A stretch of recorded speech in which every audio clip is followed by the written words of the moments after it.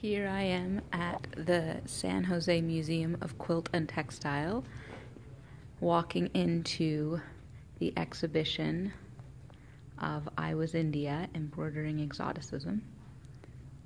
This is the Purcell Gallery in their museum space. What I really love about the San Jose Museum of Quilt and Textile is that it doesn't try to be a neutral art space. You can tell from this carpeting, the gray walls, the signage, exit signs, even in their title, San Jose Museum of Quilt and Textile, that they have a very specific history they're working out from and are not trying to make a blank canvas in which artwork can come in.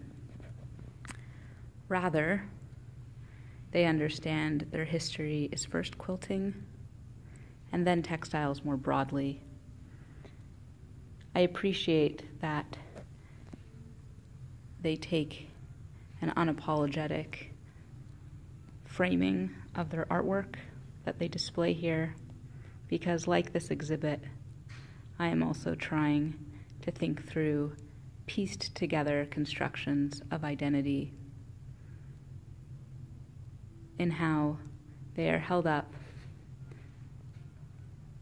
through non neutral spaces. But in this show, I wanted to use embroidering gestures. How the needle pierces through the khadi fabric, the backing brown cloth. And so all of these pieces for me are my embellishment into this space, into this khadi. So whether that's a mapuche weaving technique on a backstrap loom with Indian fabric and climbing rope, or it's the intervention of a jacquard woven chintz floral pattern that's then woven into the grid of created from a floor loom or from my own family story being interwoven in.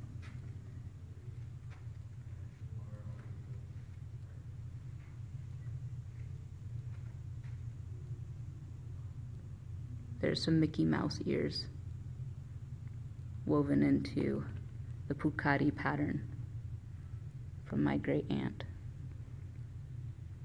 from her salus.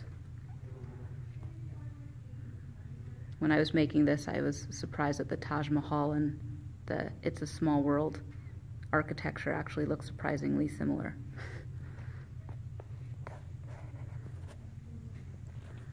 One of my favorite lines in the research I did around Phulkari making was from this article where it says Phulkari making for export to America it was stitched, worn, exchanged, purchased, inherited, and hoarded. Which sounds a lot like any contemporary textile maker today.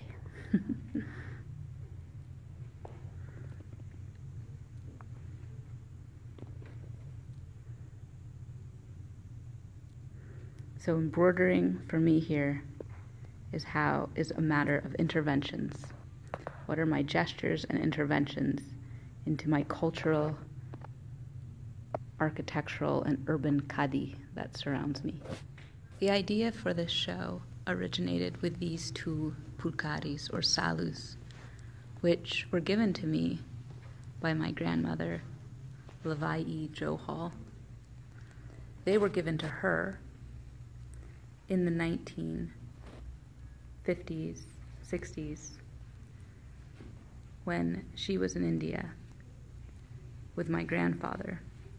They were embroidered by her sister in law, my great aunt, Dilip Kaur, when she was around 13 years old in 1925.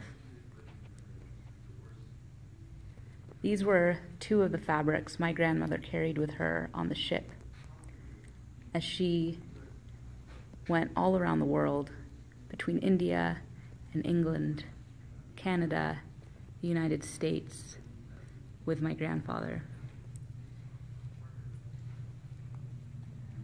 This piece has two fabrics, Punjabi suits, that my grandmother gave me and that I wore as a child. The blue one is from my childhood, and the white one is from my grandmother. The stories then that I heard growing up were what she carried around with her in her steamer trunks on these ships.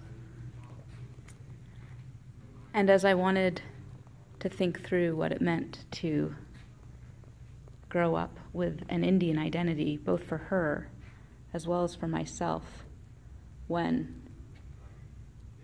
she presented herself most of the time as Hawaiian. It all centered around my mother, who, as a child, rode elephants in the parades at Disneyland and was the first person on the boat with Walt Disney at It's a Small World when it opened in 1966.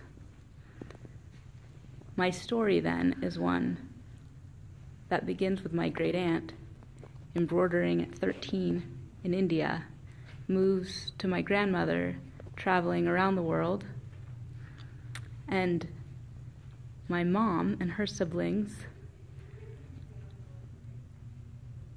performing Indianness at Disneyland and telling me stories about their relatives coming from India and using the branches of the trees in their backyard to clean their teeth.